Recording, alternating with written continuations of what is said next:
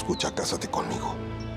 Toma tu venganza. Hoy, El día en que mi destino fue escrito. Usted tiene un CD que me pertenece. Por favor, démelo y destruyámoslo, señora Kimet.